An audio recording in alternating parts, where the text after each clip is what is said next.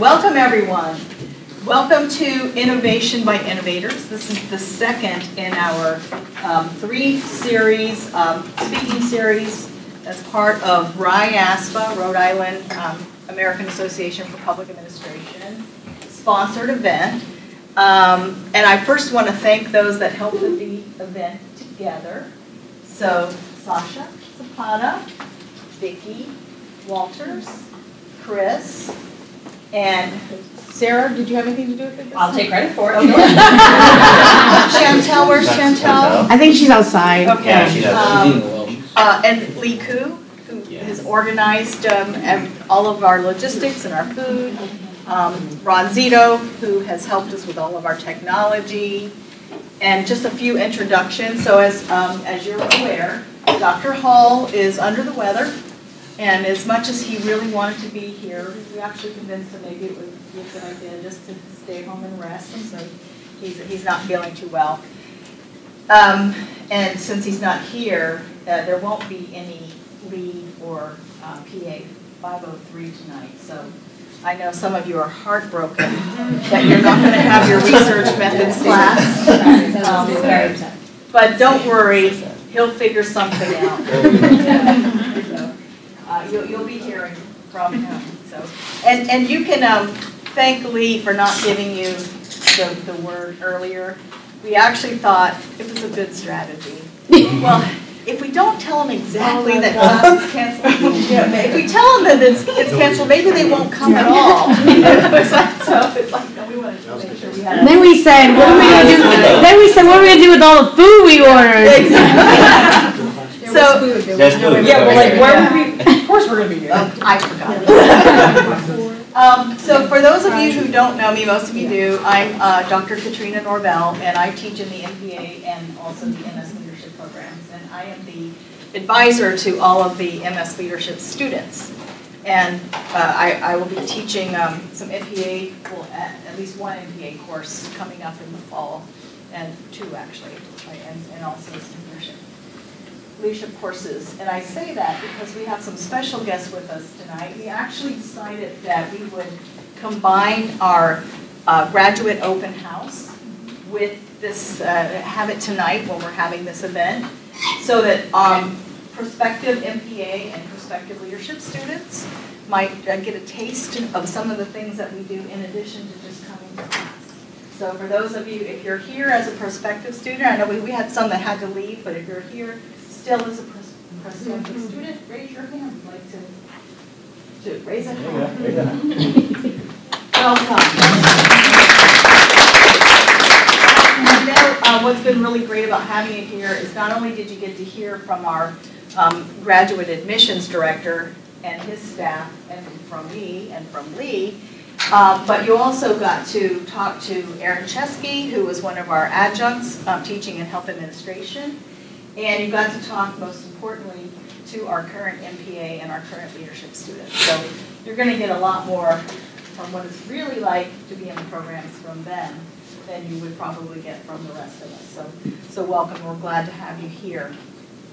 I would like to take a few minutes, I've got a few housekeeping notes that Lee gave me, and I'm gonna make sure that I cover. First is, and I, I think, um, you've gotten several announcements on this, make sure you sign in. Chantel, do you have the list? Yeah. Okay, uh, because we wanna make sure you get your extra credit, Yeah. and sometimes when you get to the end of the term and you might need that one or two extra points to kind of push you over the, uh, the minus to the plus side or the, the B plus to the A minus side or whatever it might be so that you can make a difference. And I've already mentioned that um, the class is canceled for tonight. Before we get started too, I want to recognize Sasha Zapata, please stand, I'm sure she's rolling her eyes. Come up, come up here, please. Wrong star.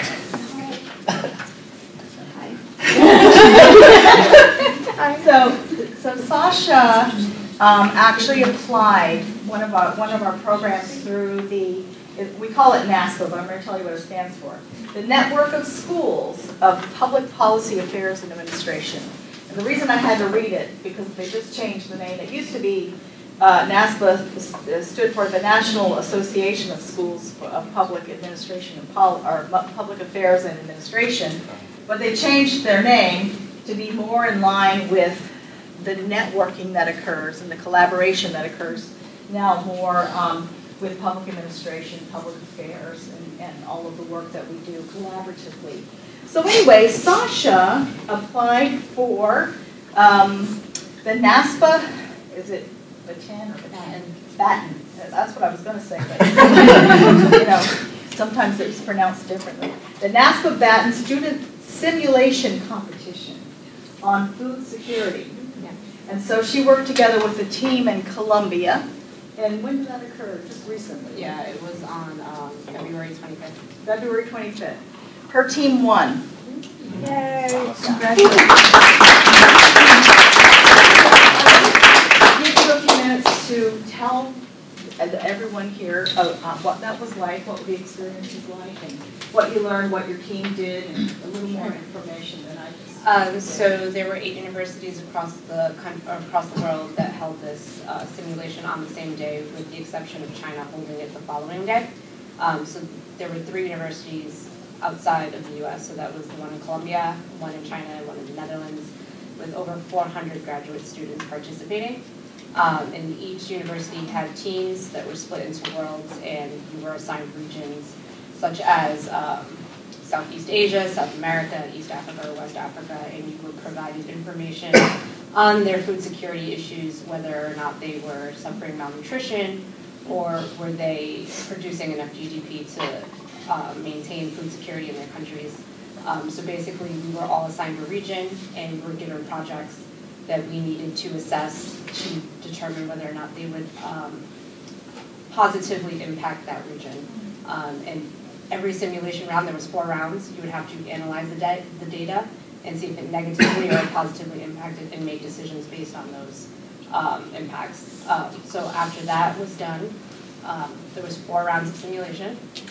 We each got split back into our world teams, but we got to work together as a whole, and we had to put in um, a 10-minute presentation um, to a CEO and what project we would um, suggest on solving the global hunger issue, and submit memos for, um, as a health project officer, an environmental project officer, and an agricultural program officer.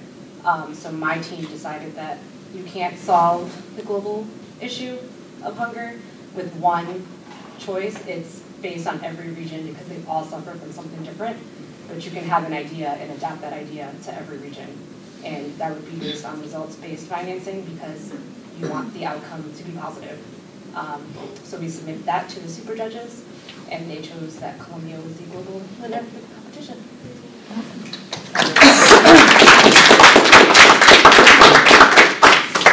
So it was exciting. Um, a lot of the students at my university were from different parts of Colombia.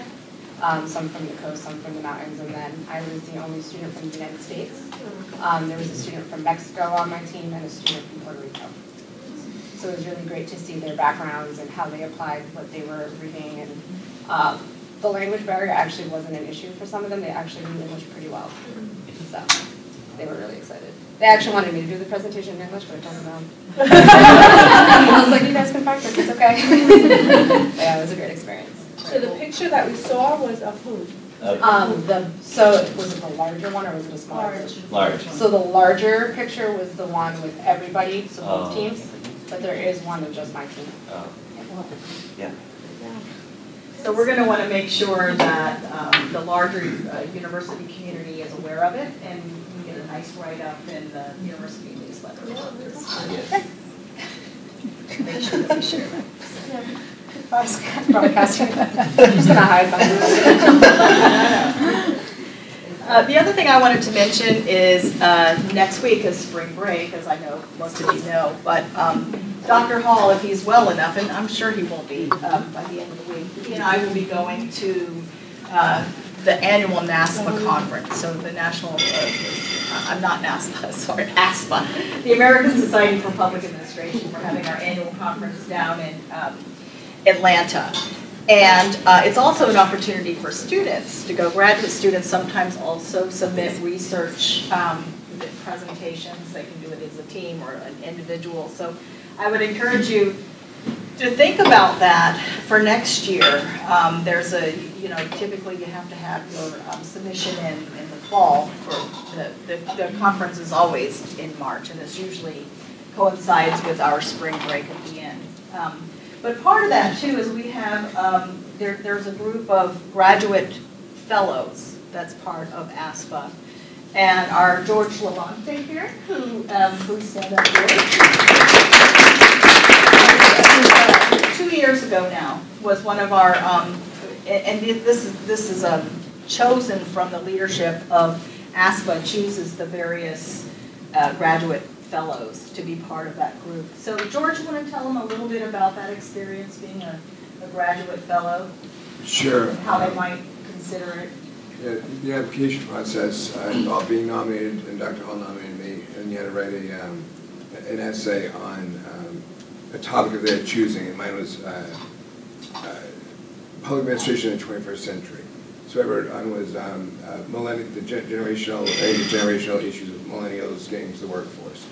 Um, It it was chosen, um, and uh, I got the award in front of fellowship. So with that, with that me was a, um, uh, registration for the uh, ASPA conference as well as um, hotel accommodations, and uh, I just need to present um, my essay or um, presentation to uh, a panel of people. I mean, it was excellent for networking, people from all over the country, really all over, all over the world, and uh, I I still communicate with a lot of other fellows as well as um, other people who are um, involved, involved, very much involved with, with ASPA, so. Yeah, so you stay connected. It's Yeah. a, it's- it's a nice place to connect with your peers across the country and actually some of them across the world, and, and you tend to stay connected throughout your professional life. So if any of you are interested in applying, um, let us know, let Dr. Hall know, or let me know, and, uh, so we can write a letter of recommendation for you for the future. Are there any students going to ASPA this year? George, you're go? I I was, I was invited to um, be on a five-member, five-member panel of a symposium for police and uh, race issues. Excellent, excellent, great.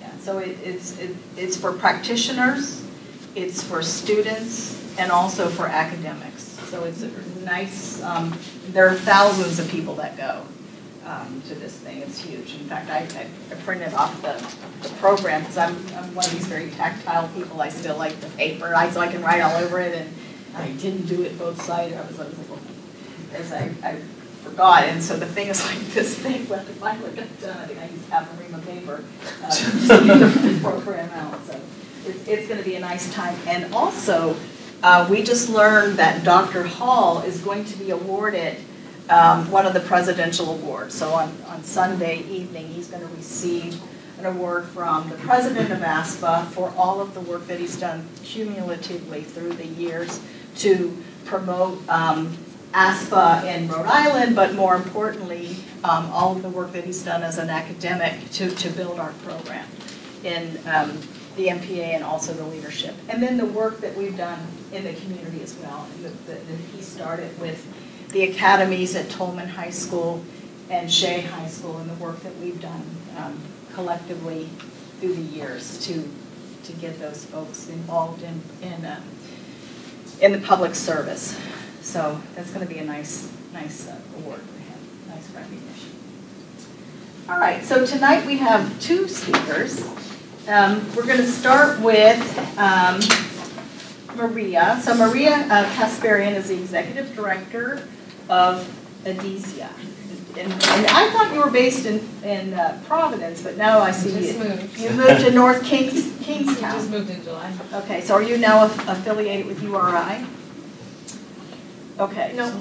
we're just closer to that now. Okay, so I'm, I'm just gonna, to read this to make sure that I, I don't miss anything. So with the mission to help uh, treat and prevent malnu- malnutrition for the world's most vulnerable populations, Edesia produces a range of fortified, peanut-based, ready-to-use foods and partners with humanitarian organizations as well. So Maria has also brought uh, a colleague with her, Freeman Somerville, And uh, so I think we'll hear from Freeman as well tonight. Since March 2010, Edesia has reached over 4 million children in 48 countries. In addition to making high-quality, we call them roofs, RUFs, R-U-Fs. Yeah. Uh, Edesia in- uh, innovates, educates, and advocates to help end the crisis of malnutrition for 220 million children worldwide. And I'm just keep calling you Maria, I hope you don't mind. We tend to be on a, except for, uh, with the exception of Dr. Hall. We're we're all very much on a first name basis here. So, so Maria has been with um, the organization since its inception in February 2009. Uh, Her prior experience includes ecology and conservation work in Madagascar, education and public health focused Peace Corps service in Bangladesh, and capacity building at a rural development in India. She works closely with many international institutions and has followed shipments to Guatemala, Haiti, Niger, Ethiopia, and Sudan. She is passionate about drawing attention to issues of malnutrition and the lifelong positive impact good nutrition of a child's life. Maria holds a Bachelor's of Arts degree in International Relations from Brown University and a Master's degree in Public Administration in International Public Service and Development from Rutgers University. Got some nice colleagues there. So with that, we welcome um, Maria to the podium, and we will introduce and hear from our second speaker, Megan Brady, um, when Maria is finished.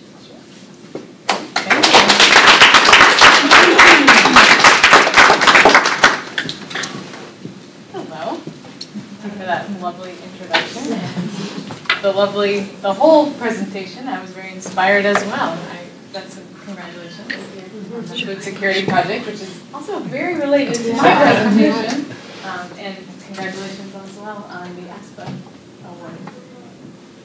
I wasn't part of ASPA myself, but I was part of something called PASA, which was Public The pu- Administration the- Students the Students Association. Association. Does that still exist as well? Well, our RIASPA chapter basically is made up of students, so we didn't see the need to also have a student Okay, yeah. association as well. Well, Great. I love, I'm glad to be on campus. Energy. It's good to be here. So I want to say thank you to Dr. Hall, even though he's not here. Thank you to Dr. Norvell. Thank you to the Rhode Island chapter of the American Society for Public Administration, as well as thank you to Lee and Chantel, who have been in touch with me for several weeks. So thanks for getting me here. So as they mentioned, my name is Maria, and I'm the executive director at Edesia. And my link to MPA is I have an MPA from Rutgers University, and we had different tracks there, and my track was International Public Service and Development. And I kind of fell into that by accident almost. I was a Peace Corps volunteer, and Peace Corps is linked up with several different master's programs that um, the schools have relationships with Peace Corps, so you can you can do your master's first and then Peace Corps, or vice versa, and there's scholarships associated with it. So that's kind of how I found it. I really didn't know what an MPA was when I went into it. To be honest, I'd heard about MBAs, but you know an MPA, which is actually, as you all know, there's a lot of similarities. The main difference that I see is that working in the public, you know, government or nonprofit sector, you have many more bottom lines, and you have you have social causes to think about in addition to your financial bottom lines. But a lot of it comes down to similar similar things and similar needs to keep an organization alive and thriving and growing and, and innovating. Anyway, I before I get started, I'm going to just tell you what I, my plan for the next 20 minutes um, is to first give you a little background on my professional path and Edesia's what we do as an organization. Um, second, we're going to show a 10 minute video that takes you to the field because I think the best way to really take you there and show what we do in its fullness is to take you to the field. And my colleague Freeman, raise your hand, Freeman. Everyone saw him. so he's he's featured in the film. It goes the film it takes place in Liberia and Sierra Leone. Freeman is originally from Liberia, um, and he has worked with us also since near our inception in 2010, um, and he got to go back and see where, where some of our products were going. So you'll see that second, and then third we'll have some time for Q&A Um, so please don't be shy. Any questions? And I'll also hang around a little bit after if anyone wants to chat. So before I start, how many people have heard of Plumpy Nut before today? A couple? Okay, just gotta see who I'm, who my audience is. Okay, and how many had heard of Edesia? Well, you probably didn't hear of Edesia if you didn't hear of Plumpy Nut. All right, great. So Plumpy Nut is a ready-to-use food, which means it doesn't need to be refrigerated, doesn't need to be cooked. Um, it just gets opened and eaten, and it's for the world's most severely malnourished children. So this is this is kids who are starving. This is kids who are way below where they should be for height and weight, and are on the verge of starvation if they don't have an intensive intervention like this. Um, and the sounds like a goofy name, this ready-to-use food, and that's what we refer to it as, but actually that's, it's because that was the innovation. The fact that it is ready to use is huge because it's used for home-based care instead of hospital-based care. So previous to having a ready-to-use solution, kids were hospitalized and in clinics that were often and are still often not in good condition, don't have enough room, don't have enough, um, enough health workers, um, and they were using therapeutic milks that were reconstituted to treat the kids. They had to stay in that hospital for usually about seven to ten weeks for a full treatment, and that's really impossible if you've got you've got family, fields, animals, whatever at home, and you have to go with one child to stay in a clinic. So this was invented in the late 1990s to overcome those challenges, um, and it was invented by a French company originally. Um, and nobody believed that it could work at first to treat these kids at home. And it took work from NGOs, especially Doctors Without Borders was one of the leading voices on this, to actually trial it out in the field and again, innovate in not just a product, but in a process to say, not only does this work, actually so many more kids get better because parents can present them earlier. if They know they don't have to stay in a clinic. They can go, they can get a week's supply, go home, and just come back to make sure the child is getting better, which usually they are. Over 90% of the time, kids get better within a matter of weeks. So that after that happened, Nutriset started licensing out, sorry, not the French company, started licensing out this technology to other factories, mostly in sub-Saharan Africa, where a lot of the need is. And they have a, there's a so there's a factory in Ethiopia, in Niger, in Burkina Faso, in Madagascar, and then there's Rhode Island. So we got involved in this because we were actually first working to help set up a factory in Tanzania, and in doing so, learned a lot more about how the U.S. government operates in terms of food assistance and food aid, and realized no one was doing this in the United States, and yet there was a pile of funding and grants that were available to, specifically to a nonprofit food manufacturer who could make these kind of foods in the U.S. with all U.S. ingredients and made 100% in the U.S. Those were criteria of these, these funds, and no one was making it in the U.S. So we saw that as an opportunity to try starting in the U.S. And this was in 2009. I graduated in 2008, finished my master's. And this was in 2009. I met the founder, who some of you have met, really by, by happenstance, which happens, right, in life. And, and very soon after was working based out of her home in a spare bedroom. We were just uh, looking for grants, looking for opportunities, researching, um, thinking about who we might hire, trying to put together some kind of business plan, and, and trying to write our first USAID grant, which we ended up winning. Shocking. Um, so that was that was in 2009. Fast forward to today, we are we have an 85,000 square foot factory, which is based in North Kingstown since July. Um, we have 70 full-time employees. We operate 24 hours a day, five days a week. Um, we have reached more than 4 million children, and that's in, in over 48 countries. And it's been an incredible journey and continues to be so. I mean, nothing is ever, nothing is stagnant. Um, I, I mean, the first time that the idea came up that we were going to move to a bigger facility, it seemed crazy as well. But it's, you know, that was three years ago, and now we're in our facility, and it seems obvious that we needed to do that, and that that takes us to the next level. Um, so that's a little bit about Edesia. You know, pause on the Edesia part and talk a little bit more about, about my path.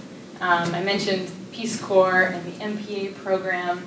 Um, and yeah, this idea of a startup is what I want to talk about. I mean, eh, eh, there's no one path to do anything, and there's no um, there's no one thing you have to do or can do with an MPA. There's so many different things, of course. Um, but I would I would say don't be afraid of a startup if someone if something crosses your path or if an idea crosses your path. Um, it can definitely be the more intimidating option. I mentioned that USAID grant. I mean, everyone we spoke to told us you will never win. You have no history with USAID. You don't even have a factory. You're saying you can make these foods and you you have a plan, but you don't have a factory. Uh, but I learned, I have learned and continue to learn all the time, if you have a vision and you have a, an idea of how you can get there and you believe you can get there, then go for it because no, no one really knows what they're doing in anything. Everyone is figuring it out as they go. And I feel like I, I learned that when I work with UNICEF and the UN agencies and USAID, and sometimes you realize, oh, I know as much as they do, or I, I can figure it out just as much as anyone there. So that's a lesson I, I learned repeatedly and continue, continue to learn. Don't be shy. Um, at the time, has, is anyone familiar with the Presidential Management Fellows program? Some people are. At, at Rutgers, it was a big deal, and it, still it's a good program. Um, but they had encouraged all of us. You can only apply when you're graduating. You might want to look into it if you're interested in going into government. Um, but I, I had applied, and at the time, it, the process took more than six months to go through, as it was a government process. I think they have mainstreamed it a little bit since then. And then once you're, if you get accepted, you do like behavioral tests, and you do a logic test, and you do interview. It's a whole process. Um, so I had applied to that before I started with Edesia. Well, it wasn't Edesia then, it was Navyn and I in her house. But before I started this startup. Um, and then so about four months in to working on this project, which is now Edesia, I got an offer through the PMF and for, for working at the CDC in their global AIDS office. And man, I hemmed and hawed like it was it was one of the hardest decisions professionally I've ever made. And it was there was there was the safe decision with the predictable path, which was not a wrong decision by any means either. And then there was this hope and a dream of what we were working on. Um, and obviously, parents, professors, anyone else was like pointing to the right answer or what they saw as the right answer. Um, and it wasn't a wrong answer. It would have been an amazing thing as well. But my gut feeling was we have something here. We've started something. I was excited. We had the idea. We hadn't hired Freeman yet, but we had the concept that we also wanted to hire from the refugee population in Rhode Island we also had the concept we wanted to do tours and visits and be, be a window to the bigger world in Rhode Island. I grew up in Rhode Island and I just, I had, I had a really good feeling about wanting to do something like this in Rhode Island. It was also 2008 and there was a lot of unemployment in Rhode Island. Um, so I, for all, for all of those reasons, I ended up turning down that PMF position, which in retrospect was the best thing I ever did um, and, and stuck with this. And it's continued to, to challenge me and our team every day, every day since then. But just wanted to, to share that because you'll probably be faced, if you already haven't been, probably have been as well, with those kind of decisions where you're, you're weighing very different things. Um, and neither is wrong, but think about what kind of organization you want to work with and for as well. Is it government? Is it nonprofit? Do you, do you thrive more in a larger organization? Do you thrive more in a smaller one? Those things really make a big difference. Uh, let's see. Ah, talked about a little bit at the beginning as well, but this idea of MPA and MBA and for-profit versus nonprofit is something I've thought a lot about in the last seven years, eight years, eight years as well. So Edesia is a nonprofit, but we, we are a social enterprise. So we operate much more to a, nor a typical business model than a lot of other nonprofits. That said, any nonprofit, or any government office for that matter, has to have a budget, has to have revenue streams, has to have a reason for being and a reason to be sustainable.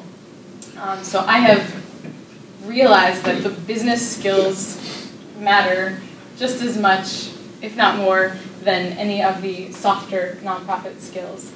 Um, we are constantly needing to evolve and change and find new revenue sources. So we work primarily with the UN agencies right now. We work with UNICEF, we work with WFP, we work with USAID.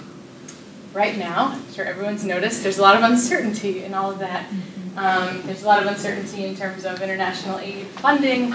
Um, and we realize, oof, we need to develop a whole new, a whole new revenue stream that's separate from that, that can help us be, help us weather the storms that might be coming over the next few years, and also, ideally, also help us cross-subsidize our humanitarian work. So our latest project right now is to also launch a commercial line of products that's going to be in the United States for various populations across the age spectrum in the US that would become, right now it's underneath the DCF, but the idea is that once things are launched and selling, that that would spin out to be a for-profit that actually cross-subsidizes the nonprofit um, and helps that be more sustainable and lets us have more than four main customers. That's a big deal. So that's something to look look out for um, over the next the next months. Actually, we should be launching the first product by the fall. So when I see the title of innovation, that's what that's what I think of right away, and that's one of the reasons we actually took a lot of time and a lot of investment to build this new facility that we're in now because we have a whole area in it that's the innovation lab. So we have a research and development kitchen where we can cook up ideas, we have a quality laboratory, and we have a pilot. And so those are very concrete things, but symbolically as well, we are it's showing we've made the investment in in innovating and in saying, okay, we're going to build for something we're not doing right now, but we need to do and we want to do in the future. So that is that is it. And I invite you all to come visit us if you if you haven't been. We are set up for tours. We have, as Freeman can attest, around the production space. There's a lot of glass, okay. so can. Everyone in the office can see everyone in production, and vice versa. And so that makes it really easy to do tours where people can people can walk around um, and see everything without having to suit up and actually actually go in. Uh, so you'll see our production, and then in addition to production, sorry, just mentioning, education and advocacy is something that we do. So we actively do student tours, and we have Rotary clubs and Girl Scouts and, and everybody in between. Um, and then we do advocacy and lobbying in Washington as well around policy, around food and nutrition policy. And, and we've been able to have an impact with other groups. I mean, you're, we're often with the consortium, um, and you realize like your voice matters if you you get active on something, and again, you are the experts. If you're in that field, you are the experts, and you can you can actually impact what's going on um, in Congress to some extent. Um, we also are part of the network of suppliers that I mentioned. So we have a partner in Ethiopia, in Niger, in Madagascar, in India, in Haiti, in Burkina Faso, and we do different projects with them, kind of depending on what's going on. With Haiti, we developed a product for school kids. We got a grant from the USDA to develop a product for school kids and to pay for a research study that would trial it out in the school. So we get to do fun stuff like that. And after after it was launched, we then transferred it to the factory in Haiti. So now they make it for the for school kids in Haiti, and we pass that on to them. And yeah, last but not least, yeah, our fourth thing is, is the innovation and research. So that I already talked about see, what time is it? Ah, I think we'll show the video then. Yeah. Without further ado, I'll take you to the field. It is it is a fairly emotional video at certain parts, so just so that everybody knows. Okay. Yeah, we're good. Can everybody see okay? We need to turn the lights off? Senior planner, we make the food save life. At Edesia, our focus is really all about malnutrition and looking at ways in the world's most vulnerable populations. We manufacture um, product called RUTF, which is a ready-to-use therapeutic food. It's a peanut paste that's mixed with milk powder, vegetable oil, sugar, and most importantly, vitamins and minerals. One of my favorite things to do in the whole world is come to the field to see firsthand how the work that we're doing is impacting people on the ground. So we decided on this trip to surprise Freeman, who was a refugee from Liberia, and bring him back to his country for the first time in decades. He left during the war and hasn't been able to return since. My name is uh, Andrew Kamara. I was born and raised in Sierra Leone. I joined this year as the uh, distribution logistics manager. I always see an extra bright light in his eyes when we're shipping to Sierra Leone or West Africa. I wanted to bring Andrew back to his country and allow him to see the impact that he's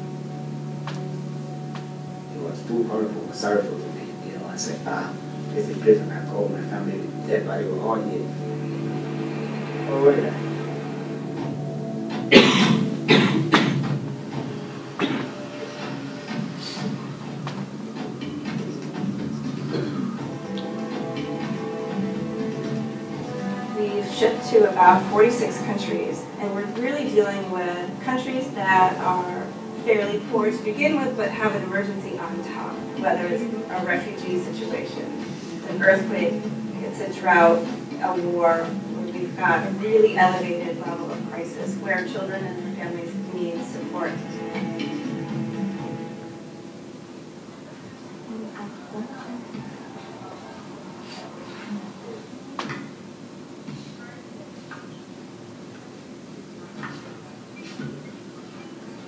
Kids here right now that are, go check? She looks so tiny. She does not look well. Is she bringing her here because she's sick?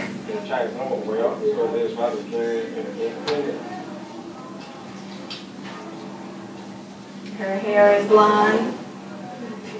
Not a lot of energy, her eyes are closed. See how weak her eye is?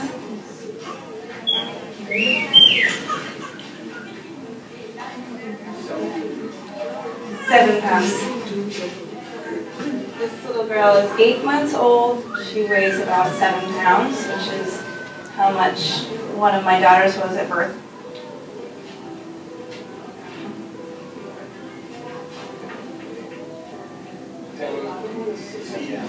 Ten.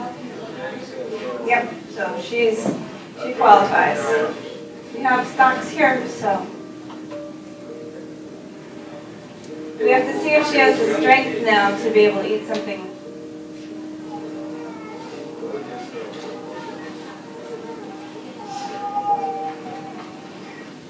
Take a little, little bite. Little, little bite. Yeah, that's good. You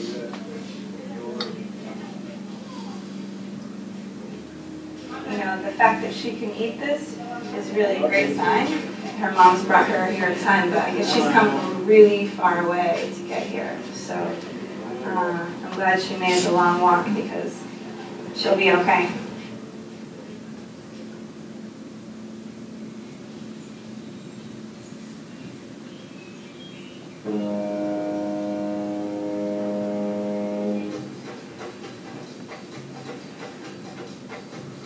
in Sierra Leone.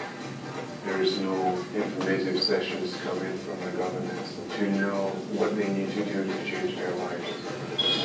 for you to know how to really care for someone, you really need to get that information from somewhere. And they need that support so desperately. Radio plays a huge role. In the heart of Freetown.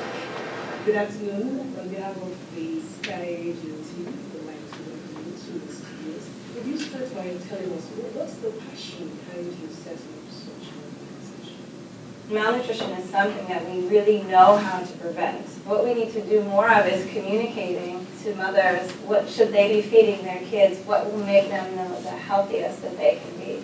The most important component is really getting out to the rural areas. Community health workers are trained to go house by house and look for children who are severely malnourished.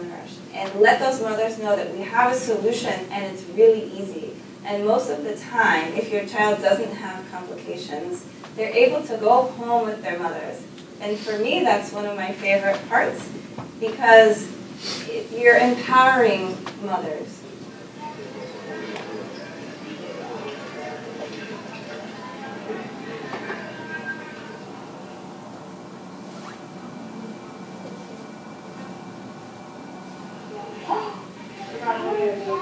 Oh my goodness. Okay, you might win the cute prize. What's your name? She's Titi Tall. Titi To. You know how old she is? Seven months. Seven months. And she's sick? Yeah. See how her coloring is off too, right? Community worker gets someone years outside and she gets refused.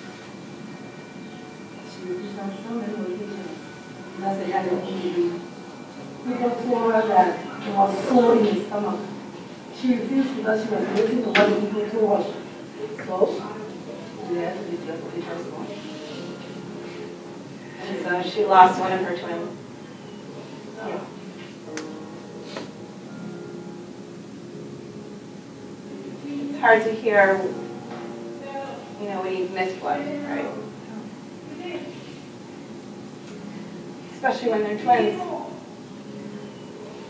So I know what that's like having twins. I can't imagine losing one. Can't imagine.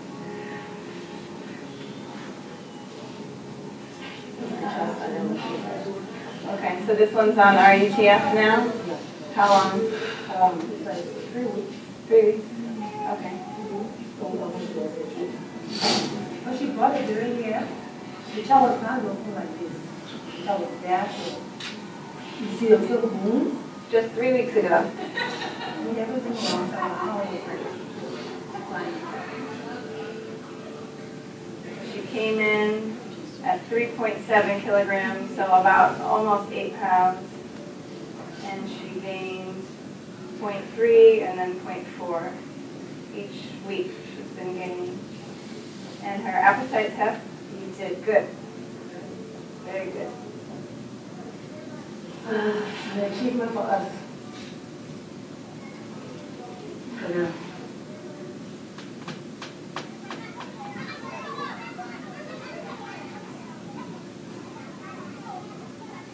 This is my village.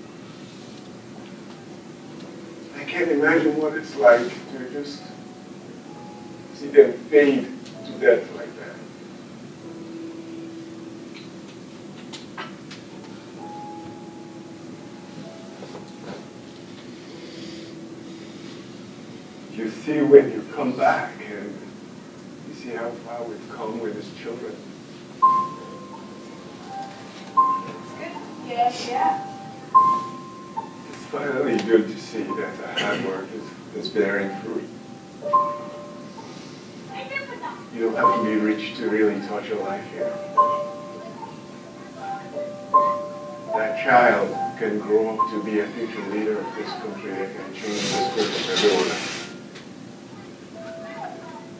With all the kids that are lined up here, there's a good number of them that are going to make it. And I want to be there every step of the way.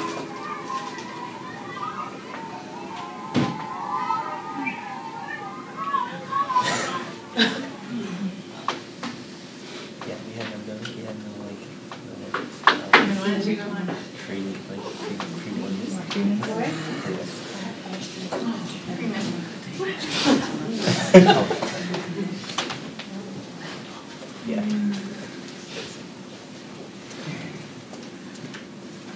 Thank you for coming to the field with us. That's what we see when we go. Um, And it is, it is overwhelming, but it's also really hopeful, because these kids are getting better. Um, And just, you saw this being used on the video? So this is measuring the child's arm here, so, so that you can also see it. The kids that we're making products for, their, their, their upper arms, and the ones you saw in the video, ten centimeters, their arm is like this.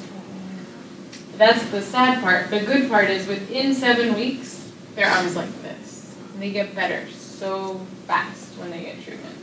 So these kids are getting better. Mm-hmm. And I don't know if you want to say anything.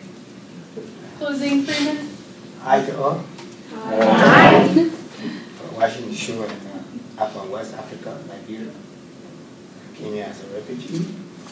And uh, I was uh, heading at the National Institute of Language. I've been stuck in a refugee camp before coming here because we had war in my country. And it was horrible, you know. because People just died and had kids, like eight years old. Got a chance to get them gone, killing, you know, fighting. Had like six warrior fashion in a small Nigeria, fighting one another. At the end of the day, the to get them buy on the street. This is why when I in the plane, when I got on the route and for us, shit, shit, because that era, they have body lining up like a, you know, like when you put in straw together, human body. So Freeman, you were in refugee camps in Yeah. Ivory Coast and in I Ghana? Yeah, I was in Coast. And you actually saw these products Yeah. there first, right? Right. Before you worked So for this, uh, something else. And then after that, they give it to some of the primary children the camp. And every morning, you know, the doctor would take, he would take children and bury them. Because of malnutrition. Dying every morning, you bury them three, four, six, eight. malnutrition. And food came, they started to the people to their children. It helps a lot. But like that, just on the fingertip, you can see them running, even though they are helpless, you know, when you see somebody on their bones, but you see them running, they run like me, you know. You know that something coming here now. So it's like, you know. And I came to America, you know, my mother far from me through the American government as a refugee. So I was able to come here, man. And then our National Institute used to do And they get English. through Dorcas, Dorcas International, and partner with them. Yeah, and then Navyn went there, then eh, she eh, they went there, and then she said, when is refugee went with, with, with the company. Mm-hmm. At the beginning of the company, I was the first, he took me there, and I started to learn how to put the, uh, the recipe together. I was doing everything by hand, you know, writing. Mm-hmm. And I learned how to cook the food. I was too glad because for me, I, I like to be clean. I don't like that. I don't like cook. I don't like dirty things. So I started cleaning the place. Oh, you clean so much. I said, yeah, because I was there. I saw the it- it's food to live, so gotta make sure it's clean. Put it back there. I too happy to be with the company. And uh, the first year, I think I wanted that. I still wanted that life. And uh, I felt so good and happy to be with the company. Now I'm still in. Yeah, they took me back home to see the place where I came from. Yeah, this was just in April, right? Yeah. So, yeah, continue to grow with us. American. I like you also. Thank you all.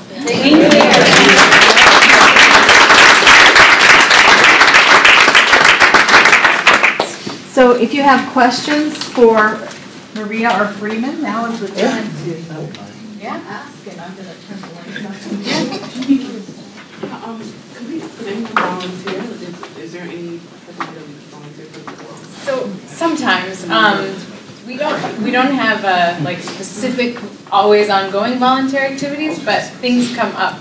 Actually, the best thing you could do if you're interested to, to be in the loop and aware is to follow us on Facebook and, uh, Instagram. And when we have events going on, or if you want to host an event yourself, that's like something we always do. Um, and then other things, it's more just like case by case, what, whatever comes up, what we're doing. Um, but yeah, I'd love if everyone followed us and we, we post some interesting things and, keep everyone in the loop. Yeah. Do you have a single um, largest source of revenue use? It's our, we sell our products to UNICEF, the World Food Program, and USAID. So those are our three biggest sources of revenue. That covers the costs of our production. And then we, we seek grants and fundraising to, for the like secondary activities. So for the education advocacy, for the research and development, and also to send products to places that are not connected directly to UNICEF, World Food Program, or, or USAID. Those are the big three, yeah. Is the food production cost subsidized by, um, is that how the grants work? The grants subsidize the cost for you to produce the food and then you can sell it at a reduced price? Or is it, uh, how does that work? Sometimes, it depends on the grant. So with certain, certain corporate, corporations or family foundations we have relationships with, that's the case. Sometimes it's, the grant is targeted for a specific thing, like to help us. Uh, we had one donation that bought us a robot that we needed for, you know, and we had one, we had one donation that was specific to send product to a clinic in Sudan that couldn't get product from UNICEF. So it, it depends on the grant and opportunity. But um, most of the time, the, the orders from the UN agencies and USAID cover the costs, cover the full cost of the product. Most of the time. Yeah. Um, I just have kind of like three questions in one. Um, the first is how how old do they have to be to receive to be able to use that? Six months. Oh, okay. And then my other question was, do they do do you, have you done any research on whether or not they have to come back again, or if malnourishment, or like is that's just that age? So there's range? there a child is most at risk between six months and five years of age, and even that range, most at risk between six months and 24 months, because it's when you're you're weaning off or weaned off breast milk, and you need you need complementary foods that are highly nutritious because the body and brain are growing so rapidly at that time. So that's you're really most at risk during that age. Once you're past five, you're much less at risk for this to happen. That your body starts wasting and you start losing weight like that. Um, in many countries, it depends on the context. In many countries, there's like a, a second program. You graduate out of this, then you're supplemented with something else for a while, and then you usually like a stepped out program. Um, but it really depends on the country and the context. And we work with partners. We don't do all that. We would, you know, there's other partners that do that.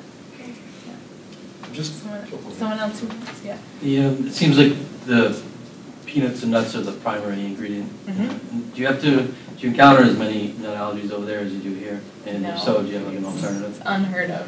Nut nut allergies are a developed industrialized world phenomena. Um, so it's in the U.S., Europe, and Australia. They exist. In other places, they are virtually unheard of. And even if someone were predisposed to have that kind of um, allergy, the children are they're so immunocompromised and weak, their body's not going to raise an allergic response to something like that, even if someone was predisposed. But they think it's nobody knows exactly why this phenomena, but they think it's in the U.S. like at, at a community level, we are over sanitized, we are not exposing ourselves to enough dirt and germs at a young age, and then our bodies are responding to other things that they normally wouldn't. Those are that's one of the theories. But fortunately, we don't have to worry about it. Yeah. The for-profit entity that you're in the process of launching right now, what kind of a model did you use to, to, to learn about that? And what type of markets are you looking to go into once it gets off the ground and gets established? That's a big, that's a long answer.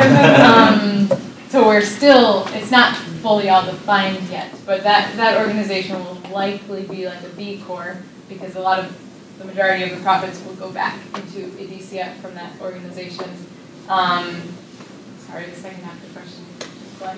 What, what markets are you? What markets? Um, so we're gonna start, our, first we'll do a launch online first, um, and then we're looking through grocery stores, um, and also pharmacies like CVS, um, for our initial products, and potentially also hospitals and channels like that. But there's more to be TBD still. What is, what is your goal in terms of making that a good overall budget? I mean, are you looking for, you know, for that to fund fifty percent of your overall budget, or? Not, not initially, it's more like incremental, we're looking for it to support, you know, ideally, well, I, I can, I can talk more to you later, but Okay.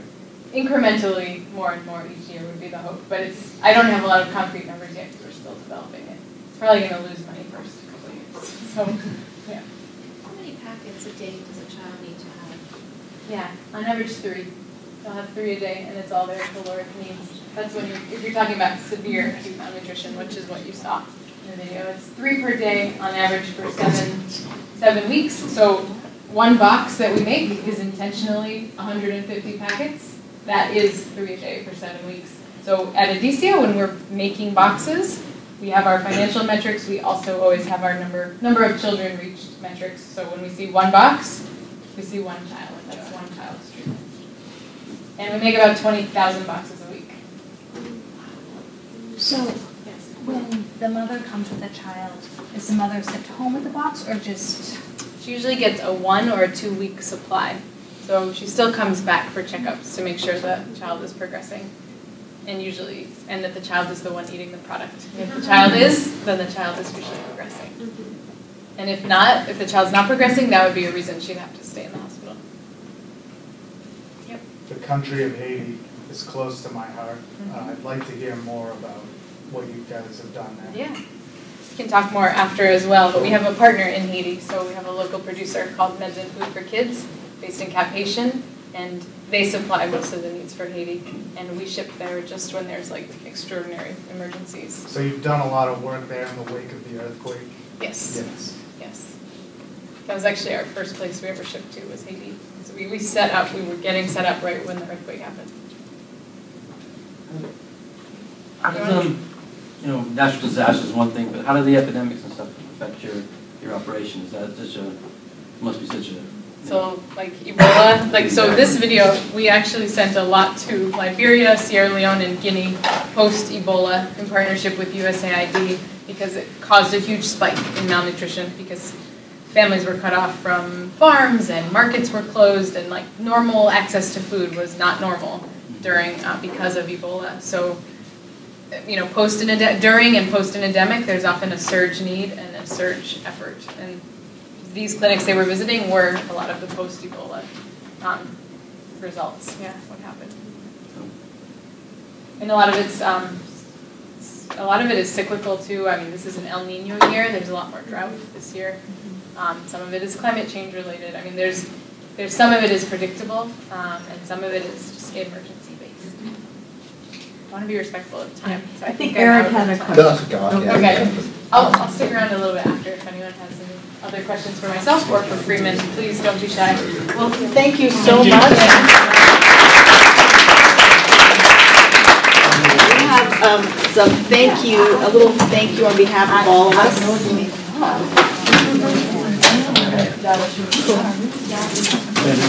Oh, thank you. Oh, yes. So, um, in appreciation for your time with us, um, we really enjoyed your presentation. Thank you. We also have a gift for Freeman. Oh, good. I don't know what's in here. It's a, it's a Roger Williams volume. Okay, well, we appreciate that you're here with us, and we enjoyed um, the video and your story very much. Thank you. Thank you. Thank you. So next, um, we're going to hear from one of our own um, graduates, Megan Brady. Hey, Megan. So uh, Megan joined the YWCA Rhode Island as Chief Operating Officer in 2011. She's responsible for the day-to-day operations of the organization, which has four campuses and an annual budget of 2.8 million. Um, Megan has been recognized with the United Way of Rhode Island Spark Young Leader Award in 2016. Providence Business News 40 Under 40 Award in 2016. Roger Williams University Young Alumni of Achievement Award in 2011. And our own John W. Stout Outstanding MPA Student Award in 2008. Megan, we are very anxious to see what you are doing at the YWCA and the innovation that is occurring within that organization. Welcome, Megan. And your husband Eric is with us as well. So, first of all, I want to thank Dr. Hall for the invitation to be here today. It's great to meet Dr. Norwell. And Maria and Freeman, wow, like everyone was just crying, and that was incredible. And I am so inspired not only by the work that we do worldwide, but the fact that that work is driven out of our Rhode Island. Um, so thank you for, for being here tonight and talking about the work you do at Edesia. Um, I thought that tonight I would tell you all a little bit about um, how my career has progressed since I graduated from Roger Williams in 2008. And even just being in the building tonight, I can't believe that it was almost 10 years ago. Um, I feel like it was a blink of an eye. So like Dr. Norrell said, I'm the Chief Operating Officer um, of YWCA Rhode Island.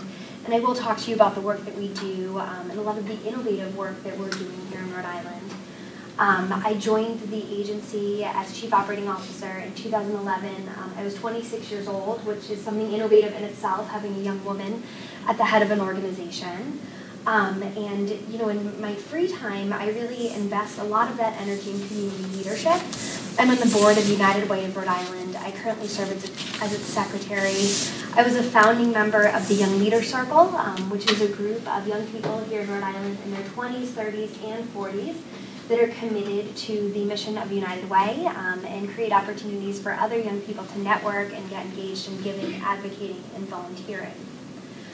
Um, and then, of course, for fun, um, you know, I love work-life balance as well. Um, I love to cook and read and ski, exercise. Um, and it's really great to have my husband here with me tonight. Um, we don't often get to do things like this together, so, you know, he hears a lot about what I do, um, and so it's great to have him in the room tonight sort of hearing the other side of it as well. So today is International Women's Day, and the theme internationally is Be Bold for Change. So to me, that theme really speaks to innovation. And so I thought that I would spend some time this evening talking about how YWCA Rhode Island embraces innovation because you really can't create change and be bold without new ideas, new devices, or new methods. YWCA Rhode Island is the third oldest YWCA in the country. This year, we're celebrating our 150th anniversary of creating positive change in the Ocean State. Um, so I think that just our age alone speaks to the fact that we're always embracing innovation. And what our agency looked like 150 years ago is very, very different from what our agency looks like today. Our mission is to eliminate racism, empower women, and promote peace, justice, freedom, and dignity for all. We do that by standing up for social justice, helping families, and strengthening communities. Um, as it was mentioned, our organization has a $2.8 million budget annually. So here in Rhode Island, you know, that's a real mid-sized nonprofit organization. Um, we have locations in Woonsocket, that's where our headquarters is. There we have a child care center and a before and after school program that supports working families. We offer care five days a week at 6.30 a.m. to 6 p.m. and we serve 200 ch children um, every single day. We have a full-size gymnasium that's actually home to a USA Gymnastics Academy. Um, we have really awesome young athletes um, who have big dreams of really like anything from being a college varsity athlete to competing in the Olympics. We have a semi-pro volleyball league, um, a competition that I am nowhere near talented to participate in, but you see them on the court and it's really incredible. we have a program called Parenting in Progress um, that provides wraparound services for teen moms. We provide transportation to and from the YWCA where they can work on their GED. We provide lunch, childcare on site, and really connect to them to any basic need that they would need fulfilled. Um, in Central Falls, we have an eight-room permanent supportive housing facility for women who are transitioning out of homelessness. We have a carriage house that was built in the late 1800s, and it's the future home of our Rosie's Girls program, which I'm excited to talk about. We have a community center that's currently leased to the Noel Leadership Academy, a high school for pregnant and parenting teens, because we know that in the 21st century, we want to create alternative pathways to education in addition to our GED program in Woonsocket, this, uh, this charter high school in Rhode Island um, that serves both boys and girls um, that you know, needed an alternative to the traditional high school setting. Just two years ago, we acquired the Nickerson Community Center. That's Providence's oldest nonprofit, located in the Olneyville section of Providence. It's a 36,000 square foot community center, um, and I'll talk a little bit about the services that we're offering out of that location and how it really speaks to innovation. We have 98 employees at YWCA Rhode Island. We're an extremely diverse workforce. Um, you know, we have individuals that represent all walks of life. Um, and it's really just such a pleasure to work alongside my team every single day with the work that we do. So I thought tonight, in talking about innovation and speaking about innovators, I could talk about four P's. People, programs, property, and perspective. And I thought I would make real life connections from the work that we do at YWCA Rhode Island to each one of these areas. So I guess we'll start with people. Um, almost six years ago when I joined YWCA, our workforce was aging. Um, there were no young women in the organization holding positions of leadership. And so my CEO really saw that as they got older, and if they wanted to consider retirement, life in Florida, golf in the summer, there weren't young people to step up and hold leadership roles.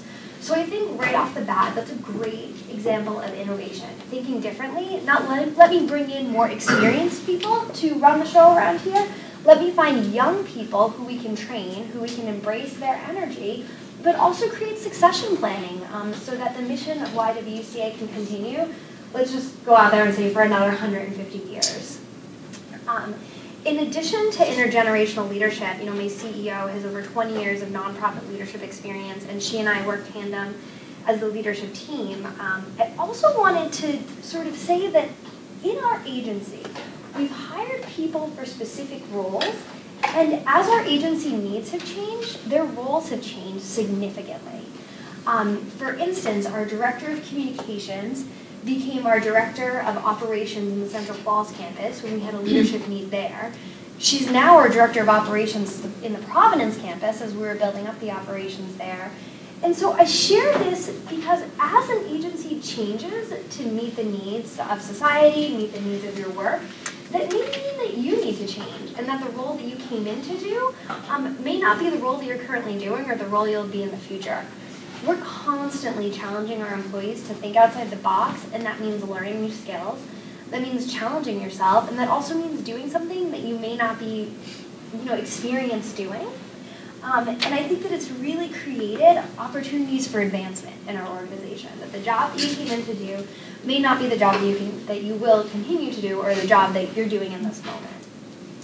So those are my thoughts on people and innovation at YWCA Rhode Island. Um, you know, I think it's important to add that we're asking more of everyone every single day. Um, and, you know, it's really to meet the changing needs of the nonprofit sector. So that's a great segue to talk about some of our programming. Um, and I could talk and talk and talk about our programming, but I'm going to sort of zone in on a couple of our innovative programs um, that I am very, very excited about. And I'll start by talking about one of our programs um, that we're not actually running right now. And that sort of speaks to the changing needs of our organization, um, you know, and really if you're not evolving, then that's an issue. So four years ago, I had the opportunity to create and host YW She Shines Radio.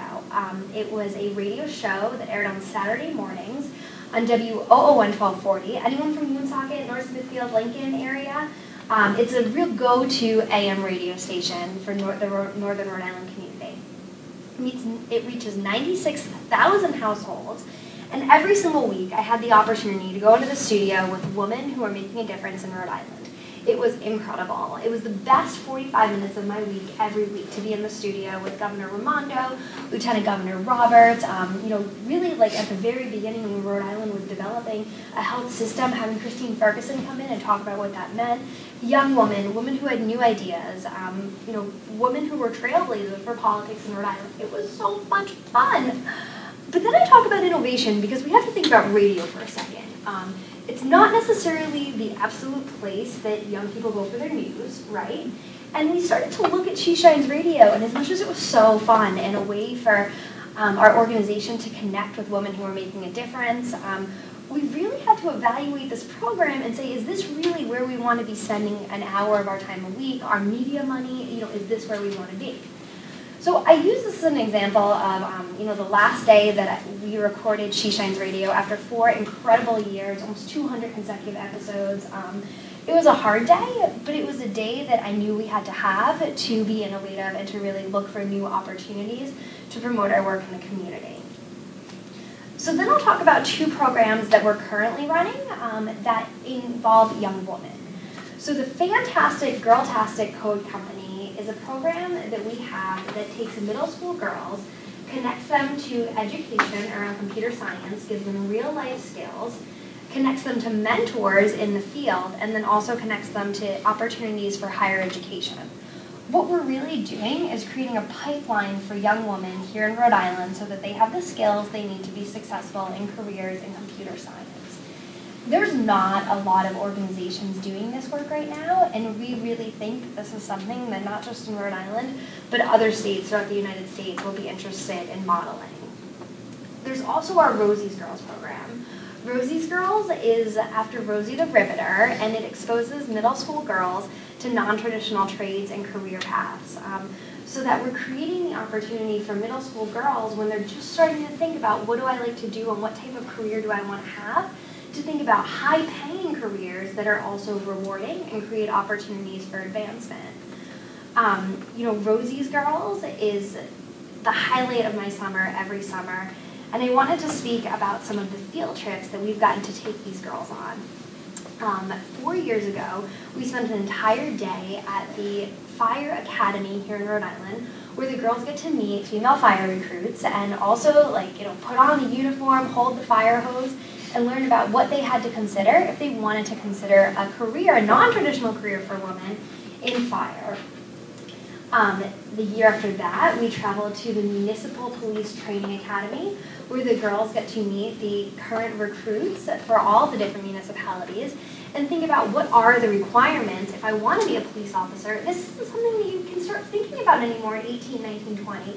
We want these girls to start thinking about these opportunities, you know, when they're in high school or, in, or as early as middle school, so that when they go into high school, they're thinking, okay, so do I want to take a course in criminal justice? Um, do I want to do a, an explorer program with my local police stations that I can get into college and study criminal justice? And when I get out of college, be ready to have an internship.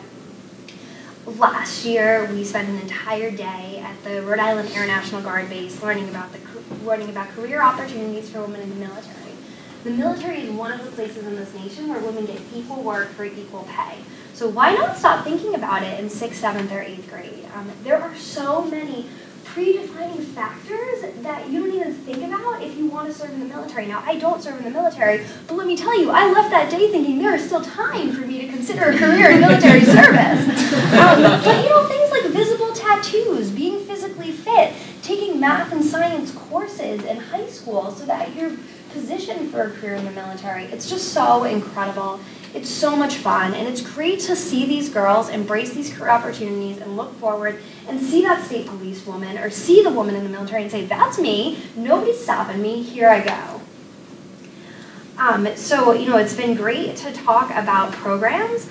Our workforce is diversifying, right? We need more women in leadership positions. We need more women in positions of power. We're planting that seed with these middle school girls in 6th, 7th, and 8th grade so that they will be the women that run this country.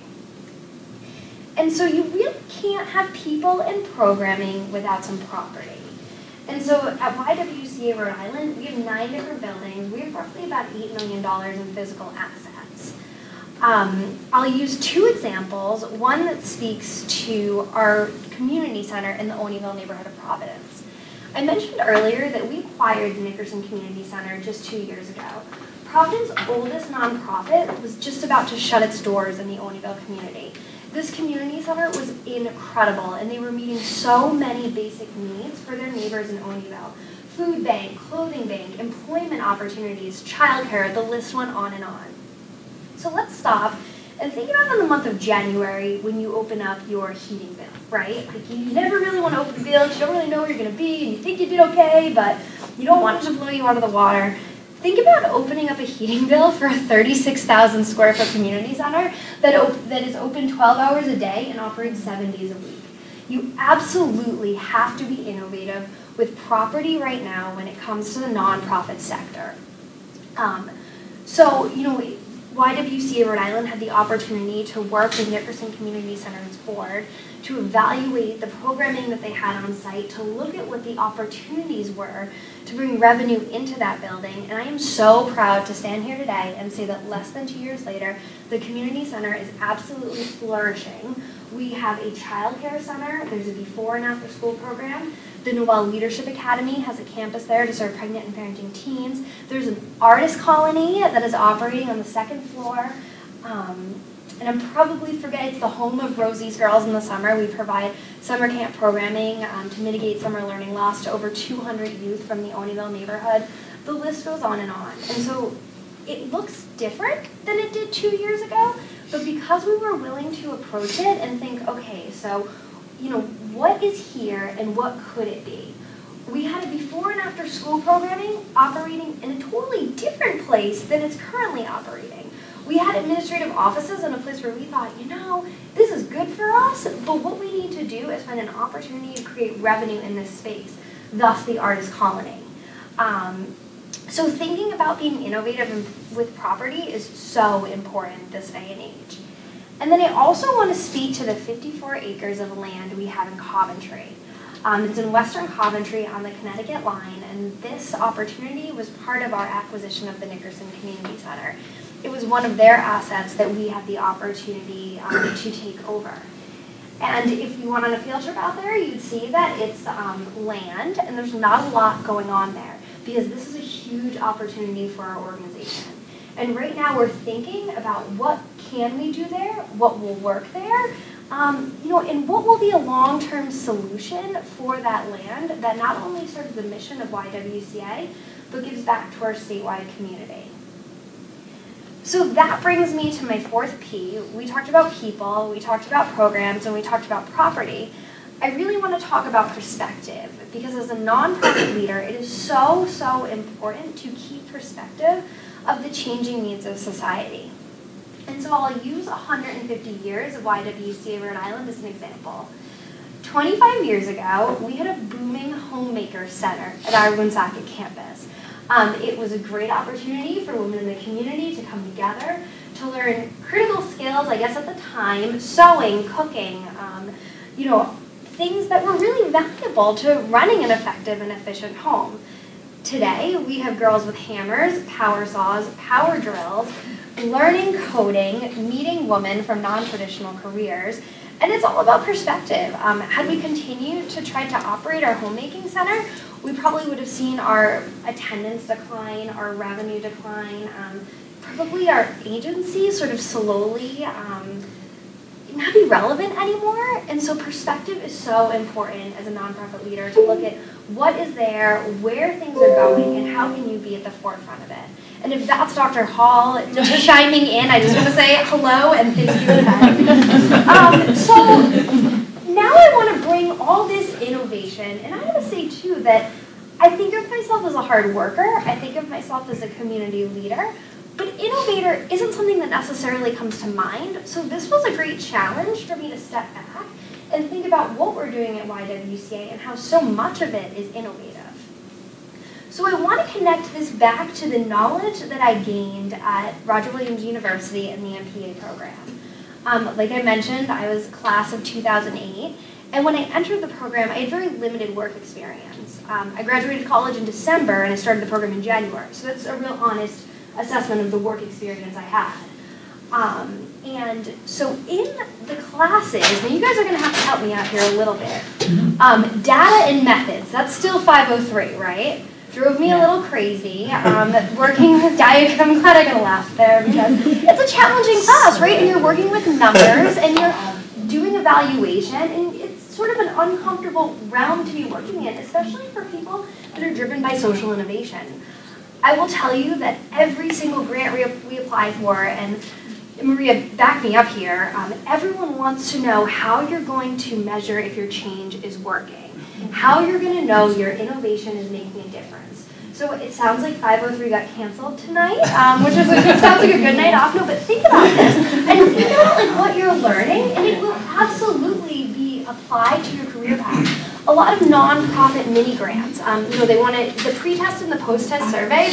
But that's kind of a lazy answer to that. They really want you to be thinking innovatively about how you're going to get community feedback, and then once you get that feedback, how you're going to calculate it and quantify it, and be able to not only just give anecdotal results that you know your program made a difference, but that you can prove that in some way, shape, or form you're moving the needle with the work you're doing. Um, ethics is, you know, an important class as a part of the MPA program because it's how we know that new ideas are acceptable, right? Like think about that. Like it's a phrase that comes to mind is, you know, more for girls does not mean less for boys, right? When we're thinking about the work we're doing at YWCA to empower young girls, how do we know the work we're doing is ethical? How do we know it's acceptable? Um, you know, and what the foundations that you're learning in your ethics class will help you as a nonprofit leader or public, uh, you know, in, in government as a leader, especially when you're making decisions. Um, case studies, um, that was actually my favorite class in the MPA program. But it's the knowledge that we have that helps us build our ideas on. So think about some of the case studies that you're that you're reading, and then you talk about sort of. I think it was a spring class. Is anybody in case studies right now? I don't even know if case studies is, is still being offered. I don't think they call it case studies Okay. anymore. probably like pragmatic practice and nonprofit administration. So, you know, you never want to go out and reinvent the wheel. And so case studies, maybe case studies in your own organization, miniature case studies in your own life are how you sort of get those innovative ideas. I know I was doing this and I know what happened. So what am I going to do differently? What can I do more and what can I do better? Case studies are what help us um, learn from our prior mistakes and also help position us for success. So then the last class that I'll invoke is leadership. Because leadership gives you the skills to communicate your vision, it gives you the skills to build your team, and it really gives you the skills to implement an idea. Um, and that's all how you make innovation a reality. So in closing, I'd like to thank all of you for being here. I mean, just pursuing a master's degree in public administration, pursuing a master's degree in leadership shows your commitment to yourself, it shows your commitment to your career path, it shows your commitment to Rhode Island. And here in Rhode Island, we need more innovators because the world is changing around us every single day.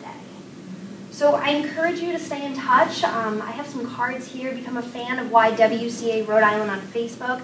Check us out on Twitter. Um, please add me on LinkedIn. Always happy to be a resource to anyone who's considering a career in government, nonprofit leadership, um, really in anything. If you want to get connected as a volunteer, join a board, please send me a message um, because I'm happy to help you um, and really happy to support the MPA program in any way. And as you complete the program, please stay in touch with Dr. Hall, Dr. Norrell, because the more of these stories that we come back and share and we talk about how our master's degree in public administration is making a difference in our own careers, it strengthens the program, it strengthens the university. Um, and I just can't thank you enough for the opportunity to be here tonight and to talk about innovation. Thank you. Questions for Megan?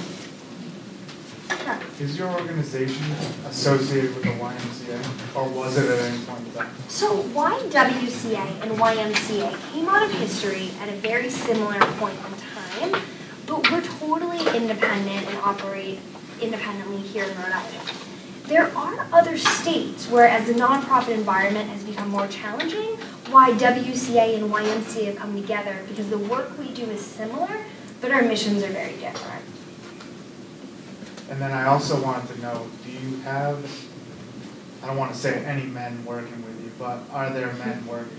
We have many talented men. No, no, it's a great question. Um, but one of the things that I didn't talk about that we do is YWCA Rhode Island operates the largest veterans transitional homeless shelter. That's awesome. Um, it's located in the Olneyville neighborhood of Providence. We serve 100% male veterans. There's 50 beds. Um, individuals who are honorably discharged from the U.S. military, any branch of service, um, who for whatever reason end up homeless. Maybe it's a substance abuse problem. Maybe it's that they were living with their nephew and their nephew moved, and so they're in between places to go. Um, and so, yeah, there are 50 men in that program. There are boys and girls in our before and after school programs. Um, I will tell you that our leadership team is 100% female, um, but there's a lot of great men in our organization that I have the privilege to work with. What's the name of the vets program? Uh, Gateway to Independence. Yeah, and if anyone knows a veteran in their life that's struggling, I know I talked to a couple people here that have affiliations with the VA. Um, you know, just referring them to 211, which is United Way's hotline, is a way to find Gateway to Independence. Googling Gateway to Independence or Trailer 37 at the VA Medical Center, um, all can help veterans get connected to our program at YWCA. There is no cost. The only qualification is that you're currently experiencing homelessness and that you are anything but dishonorably discharged from the military. Um, in 2003, I was an AmeriCorps member in Arizona, and I had the opportunity to collaborate with YWCA out there, uh, YWCA out there, and I became a trained facilitator on unlearning racism, which was a great program. I still think about it often. Do you guys still have that going? Is So it that a program? We absolutely do and will. Um, you might have seen in the last legislative year that the state of Rhode Island established a domestic violence prevention fund, another you know idea of innovation, um, preventing domestic violence here in Rhode Island. So YWC is a recipient of funds from that fund, and in the next couple weeks we're going to be rolling out a two-part series. The first is three eight-hour day training in racial justice. Um, so our trainers are trained at the YWCA in Madison, Wisconsin. It's going to be open to anyone who works with young women in your agency, and it can be relatively broad. So it's three days of racial justice training, and then two, excuse me, half days of a training called Girls Circle. Um, and so this program is to build resiliency and empower girls. And so what we're hoping is that by opening up these free trainings to organizations in addition to our agency that work with young women, we'll be able to help empower young women, build resiliency in girls, and then hopefully prevent intimate partner violence in middle school girls here in Rhode Island. So thank you. Is that an app- is that an application process to be able to participate in this? So it's an emerging application process. Um, if you become a fan of us on Facebook, um, there's no cost to attend, and all the information will be available there. I would love to have anyone who's interested involved. We're going to be training, I think, between 25 and 50 trainers in Rhode Island. It's interesting why I see when I came, my son, after school program, I was Yeah. saw him there and he was like not reading perfectly and but later on he started to read very well. Is that the same? 133 Delaine Street. Um, that's the same location. So a lot of the work we do is to mitigate summer learning loss, but also extend the school day. Um, not on the traditional sense of learning. I'll throw out the word innovation one more time because I must be getting like at least a dollar right for every the term innovation. Um, so like kids in chairs looking at chalkboards isn't innovative learning. Um, we have a STEAM engine program at our 133 Delaine Street where we're increasing youth's appetite for learning through hands-on activities in science, engineering, technology, and math. And these activities are building 21st century skills so that the youth will be successful in the workforce. But great to hear that your son was a part of one of our programs. Um, you know, hope to see him back. Yeah, yeah. He's, he's big now. He's. Employment application, how about that? and actually, um, Freeman mentioned Dorcas International Institute. YWCA Rhode Island founded Dorcas International Institute. Um, Youth Pride, we were the first home of Travelers Aid, which is now Crossroads Rhode Island. 150 years in a small state, touched a lot of lives. Great. Any other questions? Excellent. Well, thank you so much.